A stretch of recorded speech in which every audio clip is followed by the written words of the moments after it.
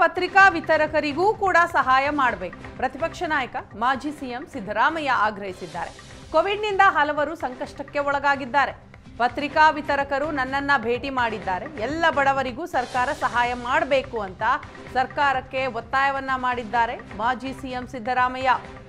ಸರ್ಕಾರ ಪತ್ರಿಕಾ ವಿತರಕರಿಗೂ ಕೂಡ ಸಹಾಯವನ್ನ ಮಾಡಬೇಕಾಗಿದೆ. ಅವರು ಕೂಡ ಸಂಕಷ್ಟದಲ್ಲಿದ್ದಾರೆ. ಕೋವಿಡ್ನಿಂದ ಹಲವರು ತೊಂದರೆಯನ್ನು ಅನುಭವಿಸಿದ್ದಾರೆ.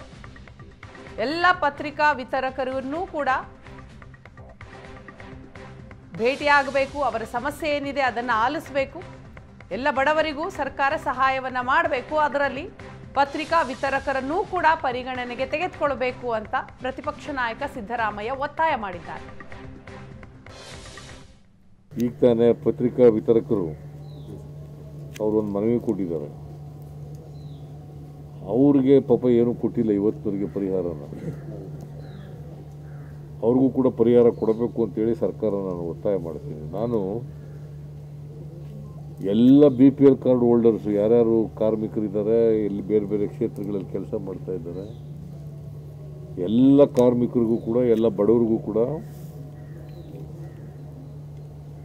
ಸಹಾಯ ಮಾಡಬೇಕು ಅಂತೇಳಿ ಸರ್ಕಾರನ ಒತ್ತಾಯ ಮಾಡಿದ್ದೆ. ಇವರು ಸಹಾಯ ಮಾಡ್ತೀವಿ ಅಂದ್ಬಿಟ್ಟು ಮೂಗು ತುಪ್ಪ ಹಚ್ಚತಕ್ಕಂಥ ಕೆಲಸ ಮಾಡಿದ್ದಾರೆ. ಎರಡು ಸಾವಿರ, ಮೂರು ಸಾವಿರ ಕೊಡ್ತೀವಿ ಅಂತ ಹೇಳಿದ್ದಾರೆ. ಅದು ತಲುಪುತ್ತೆ ಅಂತ ನನಗೆ ನಂಬಿಕೆ ಇಲ್ಲ. ಯಾಕೆಂದ್ರೆ ಕಳೆದ ಸಾರಿ ಎರಡು ಸಾವಿರದ ನೂರು ಕೋಟಿ ಮಾಡಿ ಅದು ಜನಕ್ಕೆ ತಲುಪಲೇ ಇಲ್ಲ.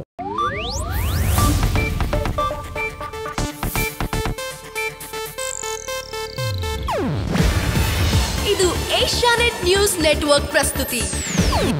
ನೀವು ನೋಡ್ತಿದ್ದೀರಾ ಏಷ್ಯಾ ನೆಟ್ ಸುವರ್ಣ ನ್ಯೂಸ್.